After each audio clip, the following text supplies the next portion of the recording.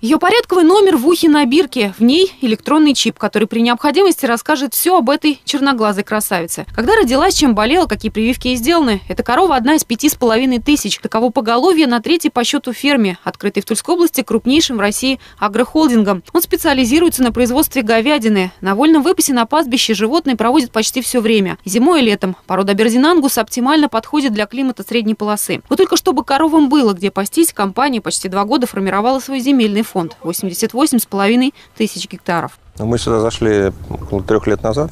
Вот. А в основном цель первая была это развитие мясного скотоводства. И подписали инвест-соглашение с областью, и сейчас, в принципе, его реализуем.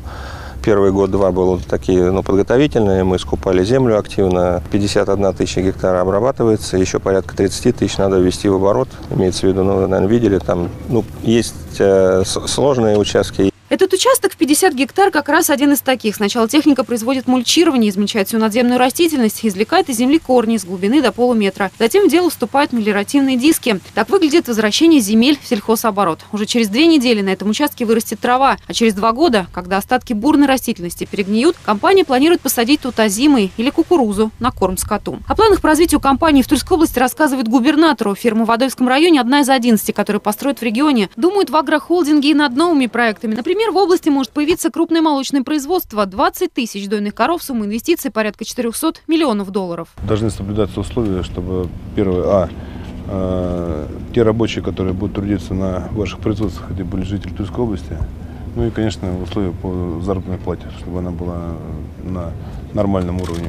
Кооперация тоже важна, тоже вовлечь наших фермеров э, в ваше движение. В основном мы скупаем это, это бычков, а, значит, их в разных э, весовых категориях, разного возраста. Соответственно, мы благодаря этому подняли там среднюю цену на скот э, на этой категории на 20-30%. Это тот продукт, который они производят. Поэтому вот мы так и, в принципе, это и обещали, когда мы строили этот крупный инфраструктурный проект развитию мясного КРС, что мы будем скупать поголовье, соответственно, и ставить его на доращивание, на откорм, соответственно, будет переработка. То есть те вещи, которые одному ферму сложно очень сделать. Следующий проект, о котором рассказывает президент агрохолдинга губернатору, выращивание корнеплодов, производство планируют разместить в Чернском районе. Холдинг выкупил у предприятия «Максим Горький» более 30 тысяч гектаров земли. Есть э, у меня такие сведения, что там э, работники Максима Горького, который вы приобретаете, уже приобрели практически, или в стадии сделки находитесь, опасаются за свое будущее. Никто без работы не останется.